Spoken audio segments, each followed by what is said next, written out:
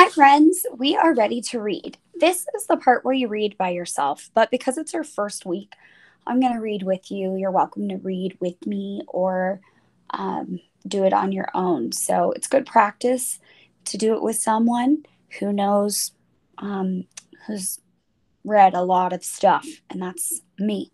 So I'm on I'm on page 28 in your workbook, and it says I read, and it has a picture of a little girl reading all alone.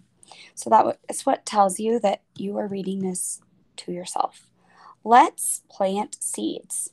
First, put the soil into a pot. Next, add the seeds. Last, add soil on top.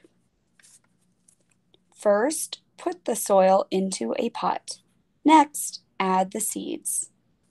Last, add soil on top. Notice how I'm using my magic reading finger, pointing as I go. So here's first, you need to put soil into a pot. Next, you add the seeds in. Last, you put soil on top of those seeds. Here I go, magic reading finger. A plant must get sun. The sun will help a plant grow. A plant must get sun. The sun will help a plant grow.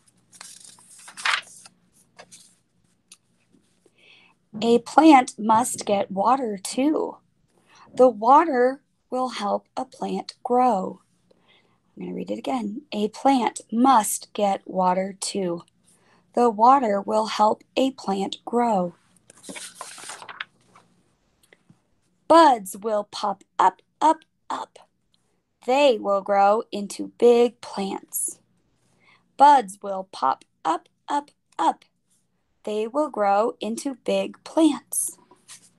All right, now down here it's telling you what you need to do. You need to read the text with a friend. Watching this video and reading it with me counts.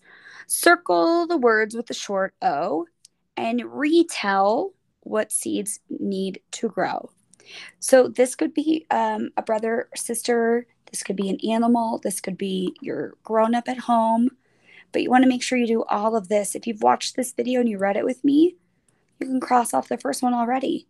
Circle words with short O. And then here you're going to retell. So that's that five finger retell. Um, doesn't really work in this case because there aren't any characters or things like that. But you're going to tell them what does a seed need to grow. All right, good job, my friends.